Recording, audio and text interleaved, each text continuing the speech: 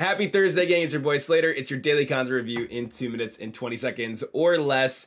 And we already had Player of the Month SBCs come out. I made a video on this already, so you couldn't expect too much more today. And with Ones to Watch Team 2 coming out tomorrow, that'll probably hopefully be a, an objective based player day, an SBC based player day, right? And hopefully a really big day on FIFA.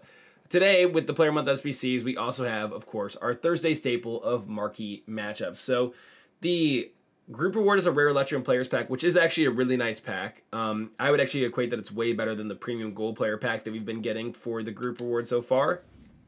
Internally, it's all based on the fact that we're on international breaks. We have Sweden versus Greece for a small prime mixed players pack. We have Germany versus Romania for what's a really bad mixed players pack. We have a small prime gold player pack, which is actually a really nice pack. It's a mini 45k pack.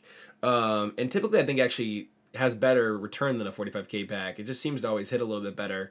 Um, this is Colombia versus Brazil. And then finally, we have a Prime Electrium Players pack. So it's not the greatest set of rewards because um, a lot of these have a lot of silver players in them, uh, these packs. But nonetheless, you probably want to craft these. And then if you either like team one or you're interested in team two, save for tomorrow or open today.